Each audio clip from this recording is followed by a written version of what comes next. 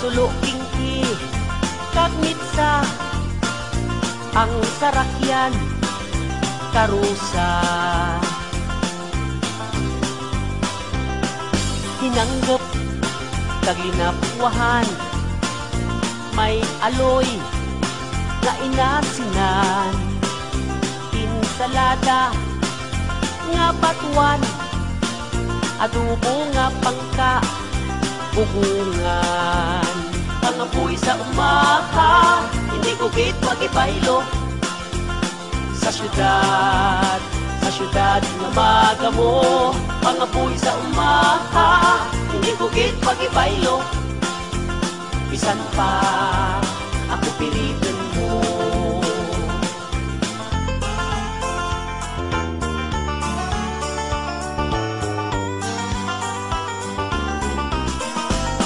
mo Pagbugtaw sa aga Pangapi sara-sara Saging nga mundo Sa kalamay nga pula Sa tag-irigma Inatan nga dagmay May urang Kagkalampay.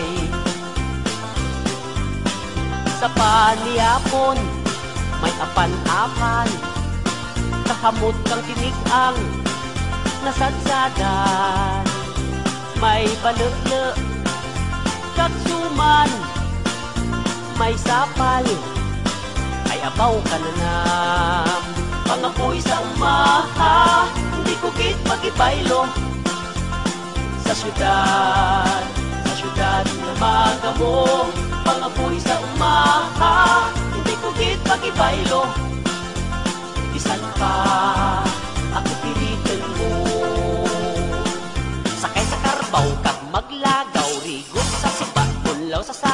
sapa Maniod ka halok, kwera tamahok Nirador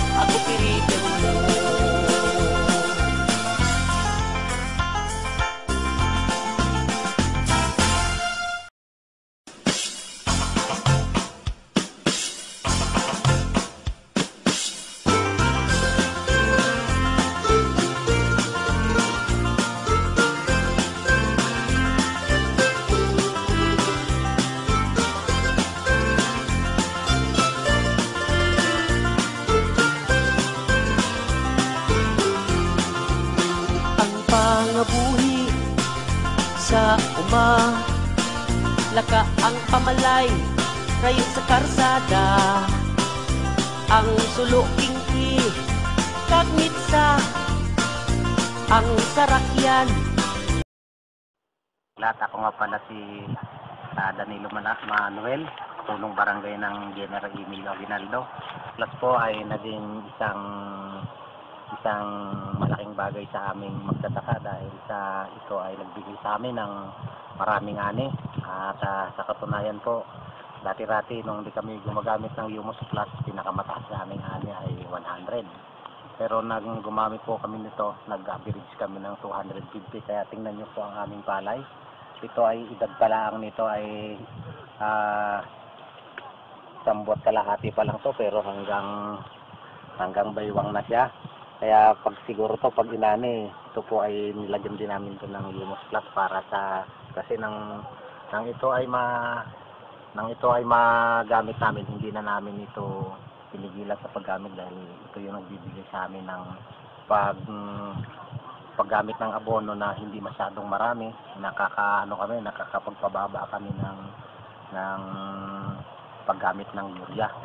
Kasi ito na yung nakita namin na produkto na nakakatulong sa amin at ah, at nag-angat din ng kabuhayan ko lalo na ako sa ngayon dati ang aking palayan ay ah, dalawang hektarya lang kalahati. Ngayon ay pito na dahil tinulungan ako ng produktong ito para ah, para makaangat sa pagsasaka Kaya, ah, sana po ay nayayahan namin kayong lahat na ah, tangkilikin ang produkto ng Humus Plus. Para matikman naman nyo yung natikman namin sa ginawahan sa aming barangay. Yan po at magandang umaga. Karusa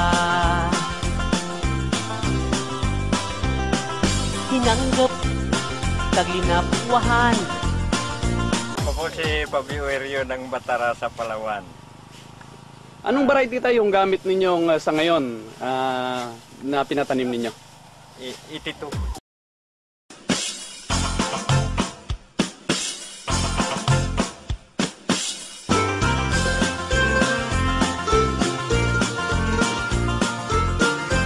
Uh, nung mga nakalipas tay, mga ilang sako yung naani ninyo dito? Uh, umani kami noon. Marami rin kaming nadaanan dito mga hybrid-hybrid. Oo. Ay umani lang mga 75 ang capacity noon. Oo. Ay ngayon, baka ma-over sa 100 dito siguro eh. Per hectare eh. Sa ngayon tay, ano po yung mga pamamaraan na ginawa ninyo? Bakit mahaani ho kayo ng mahigit isang daan? Simple lang naman yun. Yung ginamit ko ay ordinary ng abono. Amigo pang ginamit ko nito eh. Aha. Tapos, inano ng humos, isang pack, isang bag na humos, Pero yung Humus Plus po, mga ilang sachet lahat-lahat yung nagamit ninyo. anim lang. Ilang beses po ninyo in-apply ito? Nung panahon, anong stage po yung palay? Nahuli kami sa abono Oo. dahil nangutang pa ng abono. Nangutang kami sa bangko ay binigyan kami ng amigo, mumura yung klase. Mabuti, nakarecover din. Eh, Papaano po nakatulong ang Humus Plus dito po sa pagtaas ng inyong ani? Pa- hindi ko siguro alam kung bakit tumaba siya ng ganyan dahil nagamitan siya ng ganito. Yung iba na nagtanim ng itito, eh, hindi naman ganito ang tindig eh, dahil wala silang humus. Okay, masasabi po kaya ninyo nang dahil po sa Humus Plus? Oh, So, sigurado ko. Nagtanda na ko sa pagsasaka eh, ngayon ko lang na subukan na gumamit nito eh. ano, gumanda agad eh. Alam mo nung araw, ah urea lang kami. Pagdating ng dalawang linggo, nanilaw na yung dulo. Sabi, rice blast na. Nahirapan na kami mag, kuwan doon, spray-spray.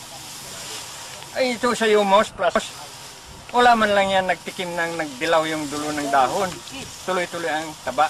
Sa kababayan kong mga magsasaka, inanyaya ko kayo, gumamit tayo ng Humos.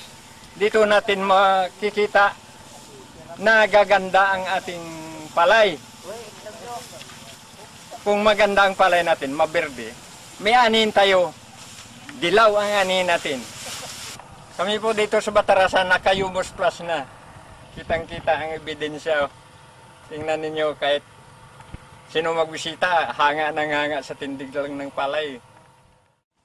Ah, sa supervising technician lang mang ko dito sa farm ni Mr. Overio, ever since nung siya ay field groupers pa ng Bayang Patarasa, ako na po yung kinukuha niyang naka-private ah, technician niya sa, sa farm.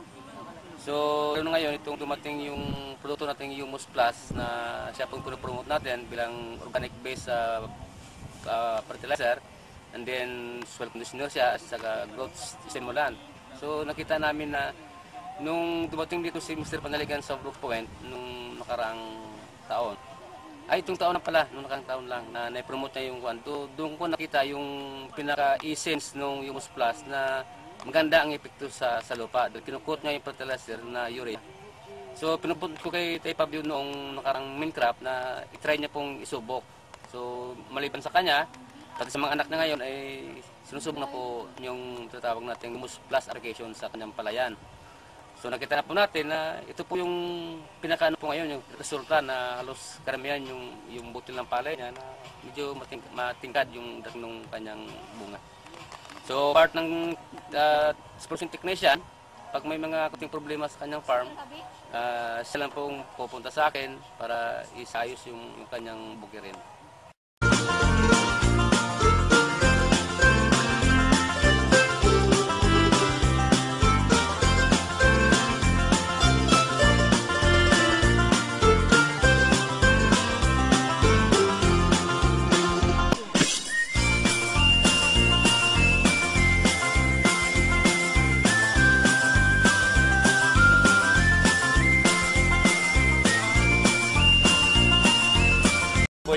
Ng Barangay Tagumpay, sitio ah, gravel pit na Porok 6, ah, Barangay Tagumpay, Ruas, Palawan. Ah, bali, ah, ah, 40 kilos yung nagamit ko na bini, RC ah, 82. Ah, kagawad ng mga nakalipas na taon, mga ilang kaban ng ah, palay ang naaanin mo dito sa iyong lugar? Ah, nung unang, ah, yung nakaraang harvest dito ay 60 kabans lang. Sa ngayon, kagawad, ah, posible mga ilang kaban ng palay ang nakikita mong magiging ani sa tayo ng iyong palay.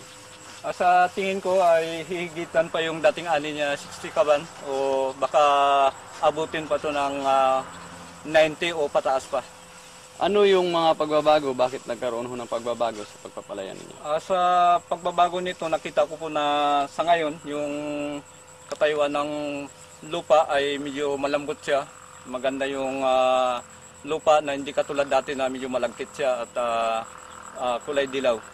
Ah, dati gumamit po ako ng apat na sako na triple 14 at ah, dalawa naman yung yung urea.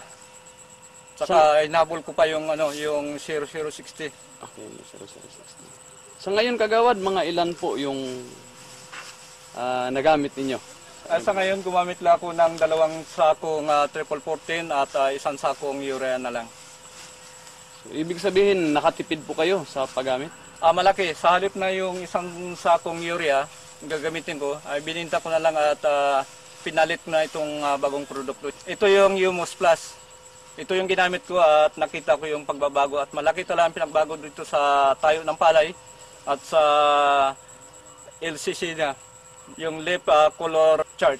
Ano po yung pamamaraan ninyo sa paggamit po ng Humus Plus? Ayun, sa Yumos, uh, ginamitan ko ito, bagamat medyo huli na siya, 45 days na siya bago ko ginamitan. Hinalo ko po ito sa isang ah, sakong urea, dalawang sasi na Yumos. Tapos yung isang uh, sasi ng Yumos, inispray ko na lang. ah, nagsisilbing ito yung ginamit kong foliar. Ah, sa Yumos, sa lahat na nag-introduce, ah, marami na nag-introduce sa amin dito. Sa Yumos, nakita ko yung pagkakaiba niya. Kasi umpisa nung ginamit lang ko ng ah, Yumos to, 45 days pa lang siya, hindi nagbabago yung ah, anyo ng palay, bagkos ay gumanda pa talaga siya. At nagkaroon pa ng resistensya doon sa mga piste na dumadapo sa aking palayan. Ah, ngayon pa lang nanawagan po ako sa aking ah, kabarangay na kumari ay gumamit na po tayo ng Humus Plus na kung saan ito ay ah, amal- ah, paliit yung ating gastos, lumalaki naman ating kita. Bukod pa doon, pinapaganda nito yung ating ah, lupa at bumabalik sa natural. Yan po ang ah, pagkakaiba ng ah, Humus Plus doon sa ibang introduce na produkto. Parang ganun. Ah, sa kapwa ko magsasaka, ako po ay, ah, kayo po ay ami aking inimbitahan na gumamit na ng Humus Plus dahil ito ay sulit. Sulit po ang inyong pagod at hindi masasayang ang Humus Plus kasi nakikinabang talaga yung ah, palay dito at nakikita natin yung produkto na ah, katumbas nito sa kanyang ah, kalidad. May aloy na inasinan. Insalada nga batuan. Adobo nga pangka Ugungan Ang apoy sa umaha Hindi ko git magibaylo Sa syudad Sa syudad na magamo Pangapoy sa umaha pagibaylo Bisan pa Ako pilitin mo Magandang hapon po sa inyong lahat. Ako po si Danilo Laudencia ng Barangay Tuban. Gumamit po kayo ng Humus Plus. Paano pong paggamit nyo ng Humus Plus? Ang paggamit ko po ng Humus Plus dati ay inihahalo ko sa abono. Pero naobserbahan ko po na para bang marami ang nasasayang. Kasi marami yung kumakapit sa kamay, kumakapit sa sa lalagyan, sa container, sa sako. Kaya ngayon po ang aking application nito ay nilulusaw ko sa sa timba at nilalagay sa spray can na siya pong isinusunod dun sa puno pag nag-aabuno na yung mga tao. Napakaganda po ng ah, procedure na to kasi po ah, walang nasasayang sa ating Humus Plus. Ano pong masasabi natin sa resulta po ng Humus Plus? Sa ngayon po, nasasabi ko sa inyo na ang resulta ng Humus Plus ay maganda po kumpara sa akin. Kasi po ay, sa tingin ko ay madadagdagan nito yung aking ani nung nakaraan taon. Kasi sa obserbasyon ko po, ay mas maganda ang bunga ng mais ngayon. Ilang sachet po ng Humus Plus ang nagamit nyo? Ang sako po ng abono, dalawang sachet ng Humus Plus po ang aking ginagamit. Salamat po sa Humus Plus dahil dumating sila sa sa larangan ng pagbubukid. Malaki pong tulong ito sa mga kagaya kong nagmamaisan at nagpapalayan, nagsisitawan o kahit na anong produkto po. Maging nga sa baboy na na binanggit ko kanina ay maganda po siya talaga. Yun po, maraming salamat sa Humus Plus.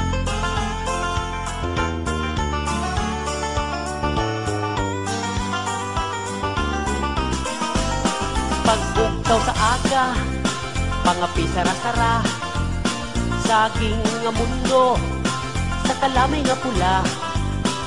Sa tag-irigma Ginatan nga dagmay. May urang Kagkalampay. Sa paniyapon May apan-apan. Kahamot kang tinigang nasadsadan May balele Kaksuman May sapal Ay abaw ka na nam. Pangapoy sa umaha Hindi ko kit magibaylo Sa syudad Sa syudad na magamo Pangapoy sa umaha Hindi ko kit magibaylo Bisan pa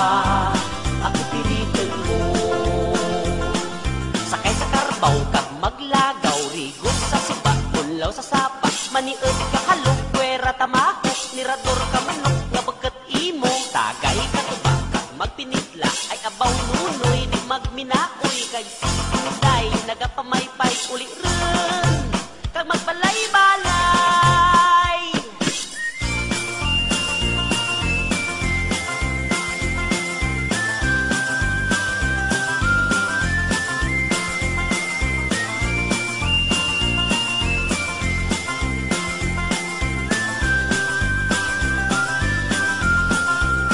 Pangapoy sa umaha Hindi ko hitit nagibaylo Sa syudad Sa syudad umaga mo Pangapoy sa umaha Hindi ko hit magibaylo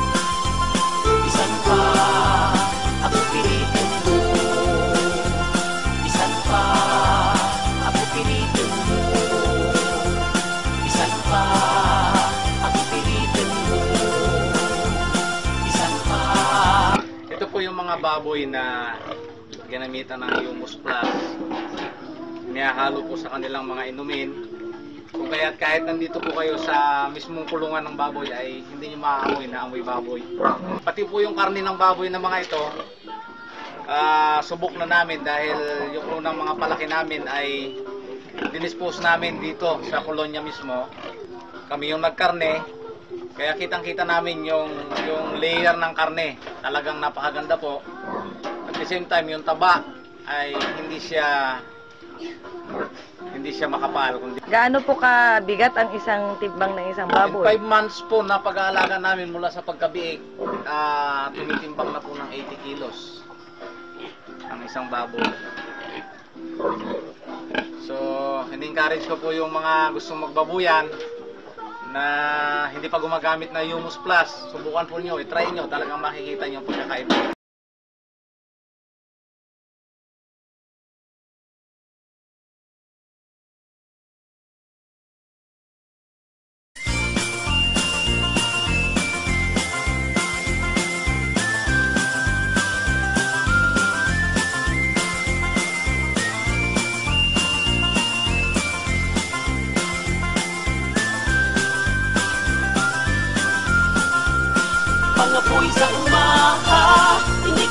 nagipailo.